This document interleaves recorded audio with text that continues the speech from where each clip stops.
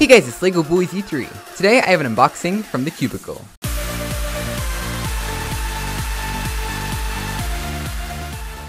So I have no idea what's in this package, so let's just go ahead and open it up here, just like that. So it looks like in here we have a 3x3, uh, looks like ShengShou Pearl. I think I already have this one, uh, that's weird. And, oh, that's the Rubik's Speed Cube. I have this cube too. That's interesting. And it looks like the only other thing left in this package here is their business card, cubicle.us, innovative cubing solutions. So that's pretty cool. Uh, so yeah, I already have this cube, and I'm pretty sure I already have this cube, so I'm kind of confused about that. And here we go. Here is the cube. Uh, just feels exactly the same as the one that I already have. Basically, this is a Rubik's Brand Speed Cube, if you guys don't know already. It's like actually a million times better than anything the Rubik's company has produced before. Like this is their old original Speed Cube.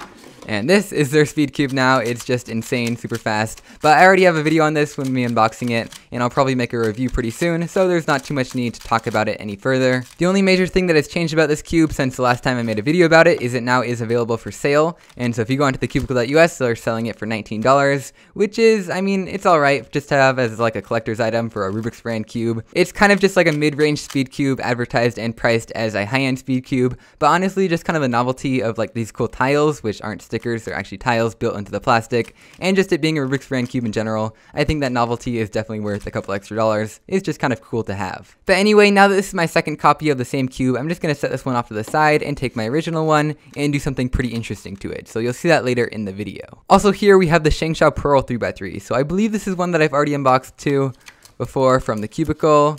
But let's just open it up again and see if anything's different, I guess.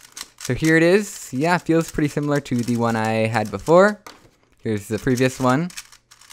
And again, if you haven't heard, this is basically just like a more controllable, kind of better handling, better performance cube than the previous ShengShou Speed Cube, the Fengyan, which isn't quite as good. At $14, it's pretty well priced for what it is, just kind of like a mid-range speed cube. It's not really competitive with something like a Valk or a GTS or a Gans Air uh, in performance, but it is a little bit more competitive when it comes to price. Anyway, back to the Rubik's Speed Cube, here's what we're going to be doing with it. One word, magnets.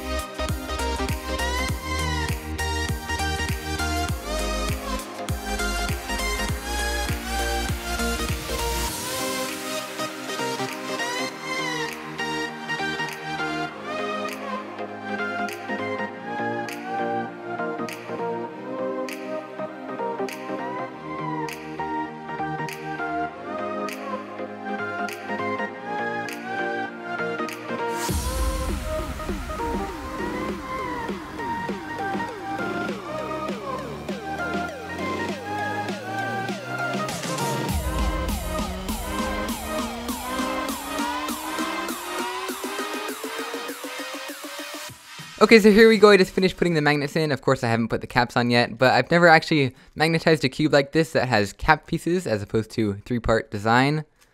And it's actually kind of fun like this. So I guess we need to snap on all the caps now. But it's actually really satisfying to put these back on because they use these like little plastic clips. So you just snap it on and it's like